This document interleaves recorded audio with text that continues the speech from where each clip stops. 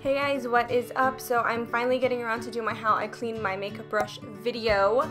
First, you are gonna just need some paper towels and then you need dirty makeup brushes. This little jar that it's in is a depotted Bath & Body Works candle. So that was a cool little project I worked on. Then you're gonna need a flat surface and the featured product today is the Cinema Secrets Professional Makeup Brush Cleaner.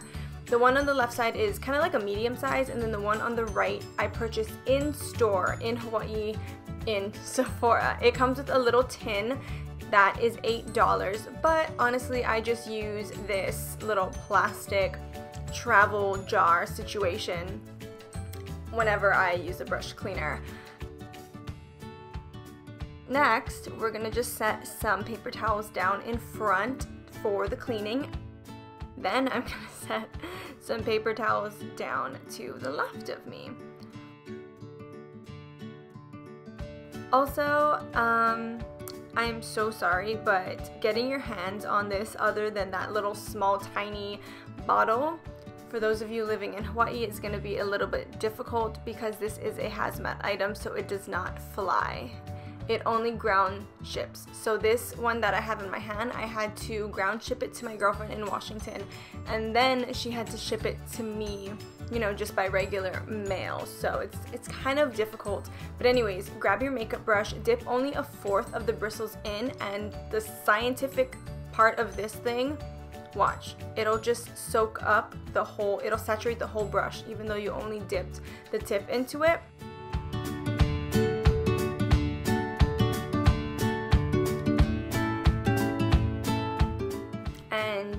there you go. Look how clean that is. That that was not sped up. That was not edited at all.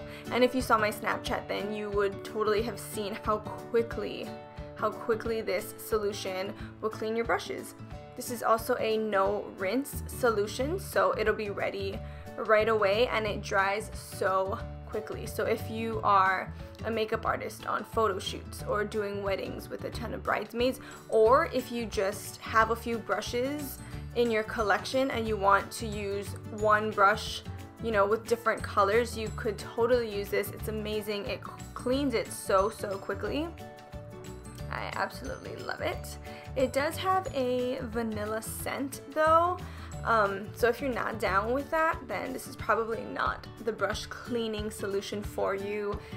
Uh, not gonna lie, it kind of is a strong scent, um, but I usually just let my makeup brushes chill after and sit on the side or I just put them back where they belong and by the time I use them next, the scent is pretty much gone and it doesn't really bother me that much.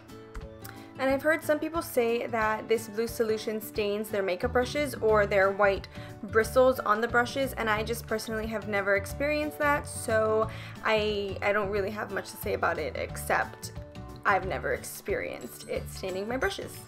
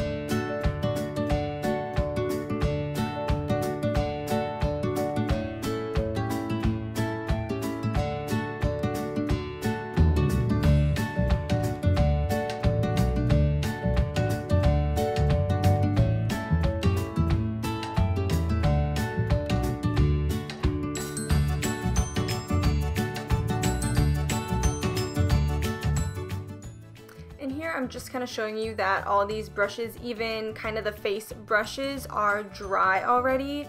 It's amazing and I love it. So if you can get your hands on this cleaner, then I definitely, definitely recommend it.